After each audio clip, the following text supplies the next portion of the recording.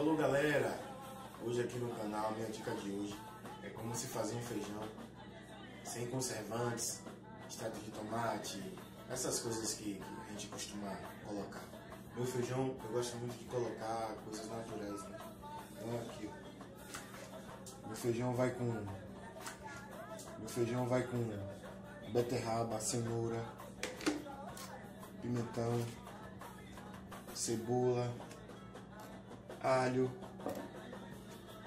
coentro, cebolinha, hortelã, feijão que não pode faltar. Eu coloco também um pouquinho de pimenta cominho.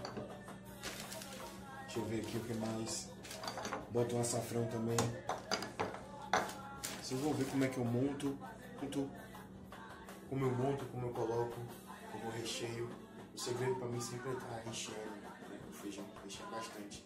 Eu não coloco carne secando, não coloco calabresa, Nada dessas coisas assim eu coloco. O feijão que eu faço é extremamente assim. Né? O único tempero a mais que eu coloco é, é o sal. Sal normal, coloco só.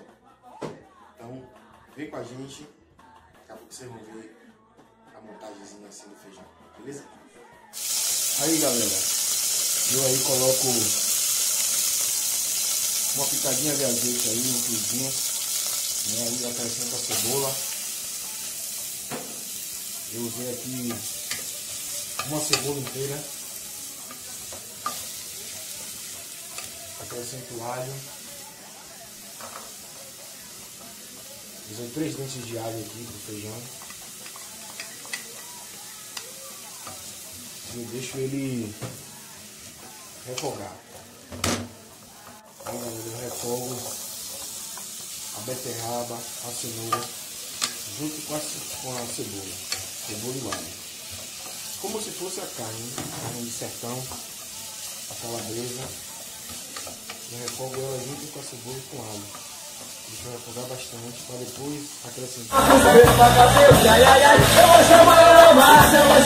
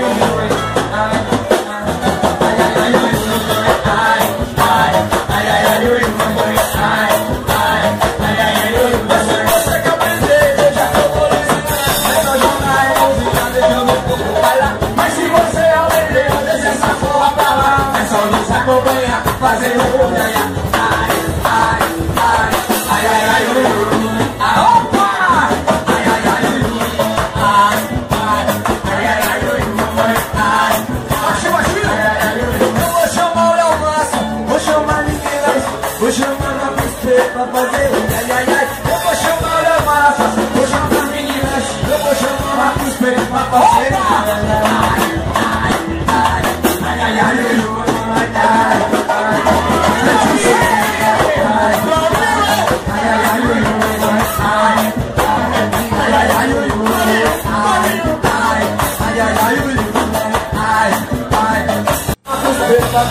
Bye.